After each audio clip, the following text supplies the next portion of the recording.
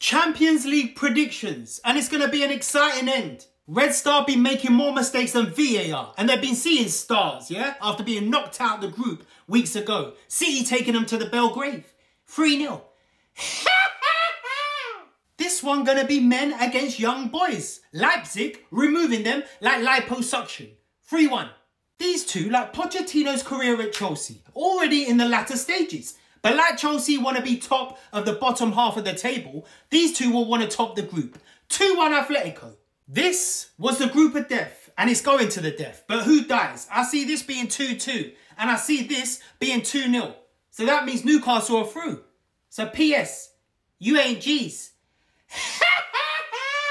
Celtic rock bottom left the Champions League quicker than Reece James left pitch after returning from injury. But this one's going to be tighter than his hamstrings. 1-1. Porto only need to avoid defeat and they're through. Shakhtar going out like Ten Hag. 3-1. Barca going through it. First Gavi gone. Then they needed Gaviscon for the heartburn for the loss to Girona. But Antwerp getting locked down like Corona. 2-1.